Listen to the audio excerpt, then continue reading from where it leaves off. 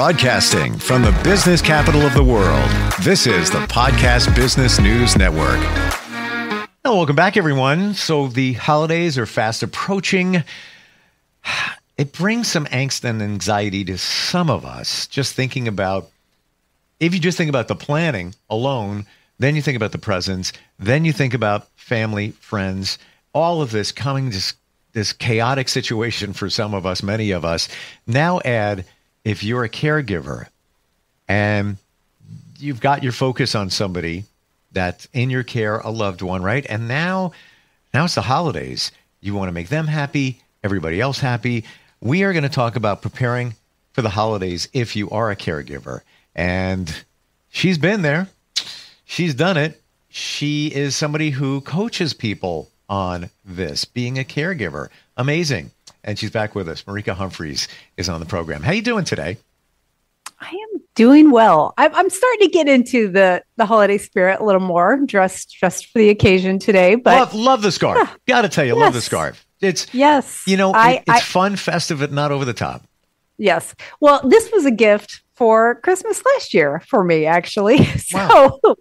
which is perfect. Yeah. Love it. Yeah. So I'm doing well. Mm. Well, I'm gratified that you're back with us. This is, uh, you know, we've talked about some challenging things that caregivers go through, but there's so many things involved with the holidays, logistics, emotions, anxiety, all of that. Even if you weren't a caregiver, now add that in. There's yeah. a lot going on there. Yeah, yeah. I, I, one of the first things I, I'd like to bring up, and I, I have brought it up many times in this show, but it's always worth saying, is just, just the first tip I have for for caregivers, but really everybody during the holidays, um, is letting yourself be open to all the emotions. And I I really felt this a couple years ago, uh, where I, it, it, so happens that December um, was my late husband's birthday month, and mm. he was one of the unlucky people, I will say, that had his birthday very close to Christmas. Um, but for me, that has always been a really challenging date because we just had a lot of good memories around his birthday time and Christmas. So I noticed for several years after um, he passed away that December was just extra hard. And I would kind of feel this heaviness that would come upon me um, during this time this during this month actually. And that is not uncommon if for those out there that have experienced grief and and the loss of a loved one that's that's pretty common to feel emotions around a significant date. And that date can be different for people. For me it's his birthday. And um, the challenge was it was also you know holiday month as well. So i was feeling this real wow. heaviness around a time where I, you know, nobody wants to feel that at any time. But in particular, you you kind of have we all have this um, desire to feel what we think the holidays we should feel around the holidays joyful and inspirited and you know focused on family and the fun traditions and whatever we are looking forward to like i love I love the holiday decorations. Um, I do love, I mean, that's just one of my favorite things. I love the lights that people put up. And to have that heaviness sort of accompany me during that time, I really, um, I really had to come to terms with it. So that is the first thing I want to bring up is I think as caregivers, we have a lot of mixed emotions around the holidays. Sometimes it's sometimes for some people it's simply dread. Like they just don't even want it they wish they could skip the holidays altogether but it may be some sadness or melancholy for like past times. Maybe when your loved mm. one wasn't sick or ill or or whatever is the current situation. Sometimes you're thinking you know is this the last year for them? So there can be a lot of mixed emotions and our natural response a lot of times is to want to push those away because it's the holidays. Like, I don't want to feel like this. It's not, you know, this this sucks. It's not the time of year. But by doing that, we really don't do ourselves any favors and we we don't allow that emotion to kind of go on its go on its way. So it's a in fact, we usually, it, when we try to push it away, it, it will often stick around longer. So, the first thing I really want to just say to everybody out there is just notice what you're feeling and just be open to it. And this is a whole this is a time of year where yeah there's lots of mixed feelings and and there may be even more if you're a caregiver hmm. how do you walk through the emotions it's been said that the worst thing you can do is bury them and just kind of yeah. be robotic and I'm not going to let it bother me. I'm not even going to think about that date or whatever it might yes. be. Yes. Yes. How do you do that? I, you know, one of the easiest things is just to acknowledge it like what you're feeling in the moment and i have a client who's who's practicing doing this right now and i've i've given her that assignment as as my client but but she is just taking note throughout the day, like, oh, I'm feeling anxious, mm. you hmm. know, and then kind of writing, taking a minute to like write down a reason why. You don't have to go to that extent, but I think just noticing when that emotion comes up, like you feel sad, just telling yourself, ooh, I'm feeling sad right now. And even thinking about why you might be feeling sad, what's on your mind, what are you thinking about? But the the space to eh, like name and probably an easier way to say that is to name your emotion when you're having it just by doing that we spend a minute and we notice the the feeling we're having and that alone kind of um, is really helpful because instead of just glossing by and going about our busy day we just give ourselves a minute of reflection and uh, I think that's especially helpful to do during the holidays. But it can, and it doesn't always have to be the negative emotions. It can be the positive emotions too. You know, hmm. uh, but just stopping to take notice. It's it's like you know the old saying, you know, stop and smell the roses. Well, stop and acknowledge your feelings. Oh, 100%. And I would love to, if I may, share something because it's all in the, the wheelhouse of what we're talking about. And I'm going to share this, and I'm looking at my phone to find it with uh, members of that men's group that I'm a part of, there's an app. Yeah. I don't know if you're aware of it. Maybe you mentioned it. I'm sorry if I missed it. Um, and it's totally free and it's all about emotions. And it's called quite simply and, and perfectly because it makes you know, total sense. The app is called How We Feel. And oh. you identify how you're feeling, what emotions you're feeling. And, and it's just bubbles. You know, I'm feeling sad, elated. And you just check them off at that moment.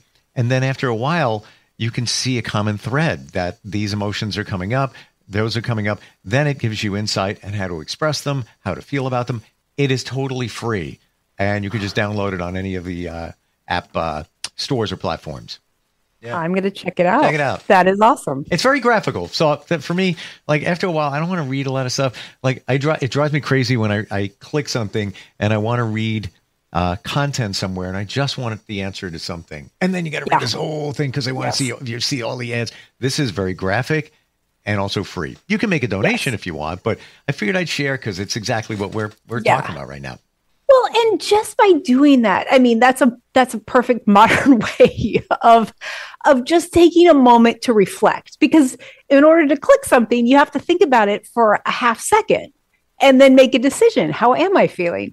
And that is a very useful process. We don't, I think, do mm. that enough mm. in our on our modern day because we just we're busy. You know, totally. we, we have we're busy and we have inputs coming at us all the time. And we have for people that don't have any built-in reflection time, whether they journal or they meditate or they do something that is reflective, this is a, a good second kind of um, second mm. option. But you know, I also feel that we don't realize the benefits of acknowledging our emotions. We just say to ourselves, well, I'm kind of bummed out. I'm kind of sad. You know, holidays are coming up, whatever it is. And I'm not minimizing anything, but yeah. we just say, well, that's the way I'm feeling. But we don't confront it in our minds. And I recently started keeping a just a journal and I write down what I'm feeling what's going on. And I found when I first started doing it, it was you know longer. Now I find I get right to the point of how I'm feeling. And even in a, a relationship situation where I need to make needed to make some decisions, um, I put up the, the, pros and the cons. And when I looked yeah. at the pros and the cons, and it, the scale was like this, and it wasn't in favor. It, it was an eye opener. And I kind of yeah. knew, but I didn't know it was that much until you put it down on paper. Yes, old school paper, because writing makes such an impact on your mind. Yeah, yeah, I, I like that as well. And I, I think connecting what is either happening or what you're thinking about to that emotion it can be really helpful. And like you said, you saw patterns for yourself. I mean, that's ideally what really this leads to is you start seeing patterns, you start knowing yourself. And that's just one way of of knowing ourselves. And again, coming bringing it back to the holidays, we often have a lot of expectations about how we should be feeling at this time of year. And I certainly did. Going mm. back to my own story, I certainly did. I didn't want to feel down. I didn't want to feel heavy. I wanted to feel light and excited for the holidays. And I wasn't feeling that. And so then I was at conflict with myself, you know, and and then you're just you're like even more emotions coming up. So um sort of making peace with our emotions is, is the more you can do that the more awareness you have around it the more understanding and then just letting it be. I mean that is just the human it's a human condition. When we feel sadness means we're also capable of feeling joy and love. And you know we don't often think about that but emotions are are the opposites are what allow us to experience those. Mm. Um, when we numb our emotions, we tend to numb all of them. And, you know, if we like to just only get rid of the bad ones, but that's not, you know, that's not how it works. So when we feel the joy, we, we will often feel the opposite of that. And that's, that's fine. It's okay. What about those of us who feel we're supposed to feel a certain way. Like, yeah, you know, let's say let's say somebody is um, in your care, they're not doing that well. Um, now the holidays are here. You got family yeah. and obligations and everything, all good, but you want to feel happy that the holidays are here, but you feel guilty that you're, hey, everything's great, the holidays are here, but you're caring for somebody that maybe has limited time, if you will, and that that yeah. balance in between the two. How do you navigate that?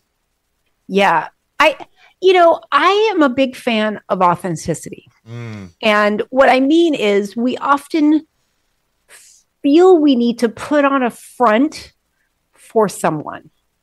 Um, for someone where, and usually that front is the, or often feel that. I mean, we do that with other people in our lives as well. But when we're caring for someone, there's often this expectation to put on a front, to sort of pretend something for them, to pretend to be strong, to pretend to be upbeat, to pretend to be positive. And I get that. I understand the desire for it. However, as humans, we are all much more insightful than, you know, we pick up on people's energy and we, um, and also connection, like genuine connection with people comes when we reveal when we show our true selves and mm. that requires being vulnerable and being open yep. and it does not mean laying all your burdens on someone's you know lap or dumping on them or just complaining and whining and moaning but it can mean just sharing genuinely how you feel and so if you are struggling like and you feel the need i need to be strong or they don't like to see me upset or mm. i don't want to upset them. But the trouble is then it creates the, a disconnect because you're not really being honest and then they don't be honest back right? And then you kind of have this fake relationship together where you're both pretending. Right. And it's sort of silly but we all do that you know? I feel um, too if you're doing that eventually it's going to catch up to you where you're going to just hide your feelings. You're not going to be truthful about them, and eventually, it's it's it's going to take its toll on you. Yeah, yeah, and I and I think the part we miss there is the opportunity to connect, and in week, and I and I think sometimes it's just simply having language around that, mm-hmm. like. Mm. I, you know, I, I, I just, I often will say, I'm just going to share or I just need to vent here, or, you know, to be honest, like we can say, to be honest, that's, you know, this is a hard time, or I'm struggling right now. And I'll be okay, or and please don't feel responsible for me, or and you know if you feel like you don't want to you want to make sure that the the other person doesn't feel like you're making it their problem which is often what a lot of caregivers are worried about mm. um, you can always add that but yeah I, I think being honest with people when we're struggling is how we let them in and they will be more inclined to do that in return because guess what? It works both ways. When we pretend, they pretend. And then we're living, you know, having this pretend relationship where it's, uh, you know, holidays are also about connection and we have to be vulnerable often in order to connect but yeah. but it is hard authenticity is it's it's hard in any situation yeah um but it feels good when you're you you know when you yeah. you're at that point where it's like i'm being me i'm being authentic this is this is the yeah. real me uh, you really had it, I feel, challenging given your your husband's birthday was around the holidays. Yeah. Lots going yeah. on there. A lot of emotions, a lot of emotions. Yeah, you well surprisingly that this one thing when I recognized that that though that heavy feeling I was I was feeling was had to do with my my memories around his birthday and and and the, um once I recognized it, and then the following year, I was very aware and sort of ready for it. And now I don't feel that way at all. Mm. Partly because I'm just, I just have awareness and I don't fight it. I just, I let it be there. And I cannot tell, I tell people this all the time like, you would be surprised how much when we fight our emotions when we don't want to feel them they will just hang out for longer. But the minute you you like kind of just make your peace and sometimes i say to myself like oh this is just gonna i'm just gonna feel sort of crappy today and that's fine. And give myself a day even or you can give yourself a couple hours but the minute you stop wanting it to be different it is amazing how quickly it will just everything lightens it's like our resistance to our feelings is what causes so much of our misery and we don't think it's that way. We think we can push them away. But the minute we just open up and go, okay, that's where I'm at. And it mm. doesn't have to mean anything. You'll you'll feel so much lighter. And it you know, it, yeah. So um I, I think it's really like a secret. It's it's like a little secret that is sort of counterintuitive. So challenging question here to answer, I think. You get to the point where you you're comfortable in a situation with your emotions. Like you said, it doesn't bother you like it did, and you navigate yeah. through it. And this yeah. could be, you know, after the fact of caregiving or during whatever it might be. How do you know that you truly are feeling okay with it? You moved. you you, you moved forward. I don't want to say you moved on. You moved forward. Mm-hmm. But how do you know that you're not just burying the emotion? Does that make sense?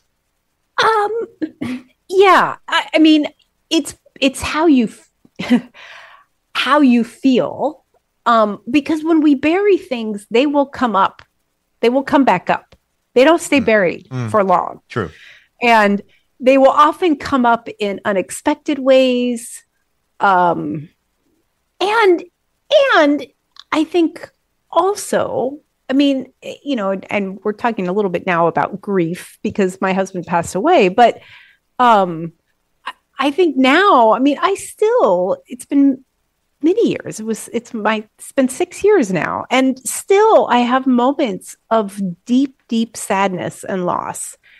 But because I am aware of them, I just, I'm very open to that. And I sometimes I will sob and it lasts like all of about five minutes and then I go on. And I sometimes am amazed that, you know, that mm. feeling even now can be so strong.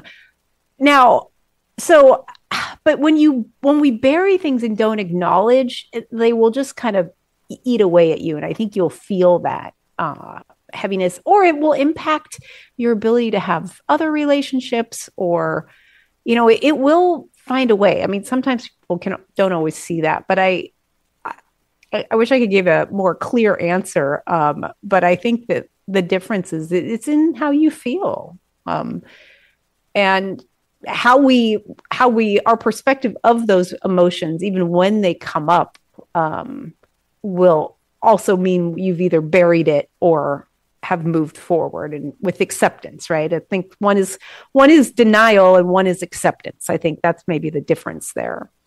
Hmm. acceptance. That's a really good word. Yeah yeah, yeah. it really just yeah. say i'm accepting the situation. It still affects me.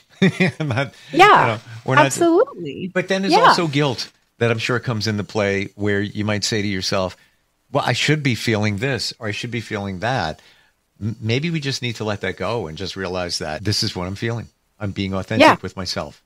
Yeah, I, I, I mean, one of the other things I think is um, really accepting that emotions, while we've given them labels, good emotions and bad emotions, but they're still just they're just emotions. They're just function. They're a way of feeling because of how we're thinking. And when we have feelings of guilt, it's because we're thinking you know, I shouldn't do, I shouldn't have done this, or we're thinking something bad about ourselves. Right. So, but it, but it, the emotion in and of itself isn't a bad thing. It's just an emotion. And when you can get to that point, which is a truly freeing place, like all of our emotions, they don't feel the same, but they don't mean anything about us as humans if we can and then when we're able to let go of that value judgment then you can get more curious and go okay why am i feeling this or what's going on here?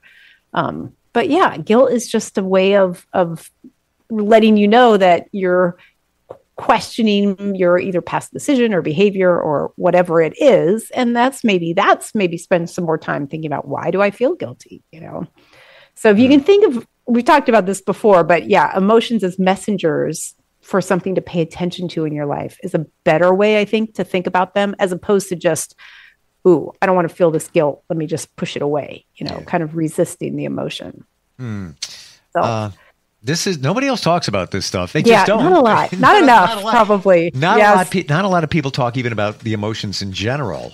Yeah. Now added to a uh, situation with caregiving, and whoa, you know, there's a lot, yeah. lot going on there. Um, yes this is what you do. You help people out as our professional of the year. Um, to reach out to you, the best way is just go to your website. Go to my website. Yep, coachmarika.com. Uh, and I've got a podcast on there as well. And uh, you can set up a consultation with me. And that is the best way to get in touch. Love it. Coach Marika, M A R I K A dot com. I got to tell you, talk to lots of coaches and there's all different types of coaches, many life coaches, etc. I've never spoken with somebody who does what you do and has the the empathy that you do to help people, and it's refreshing, it's amazing, and uh, you are all of that. And I appreciate you uh, with these uh, past number of podcasts talking about stuff with uh, well, we dug into because nobody else talks about it. Yeah, well, thank you, Steve, for that, and it has been a pleasure having having these conversations. I hope they've been helpful for people out there. I know we have. I know we have, and uh, somewhere um, along the way, we'll, we'll we'll connect again. I'm sure there's going to be a time. All right, sounds right. good. Thanks. Okay, thank you. Thank you. We'll be right back.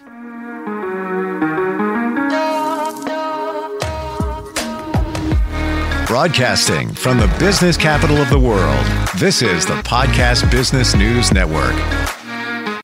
Hey, what's up, everybody? I'm Jason Derulo. I love that music connects to people all over the country. But unfortunately, so does something else childhood hunger. 15 million kids struggle with hunger right here in America. And yet, every year, billions of pounds of surplus food in the U.S. go to waste instead of going to the children in need. Feeding America is working to change this. The Feeding America nationwide network of food banks rescues this surplus of food to help provide meals to families in virtually every community in the United States, including yours. But they just can't do this alone. Join me in the fight against hunger in America. For more information on what you can do to get involved, visit feedingamerica.org. That's feedingamerica.org. Together we can solve hunger. Together, we're feeding America. A message from Feeding America and the Ad Council.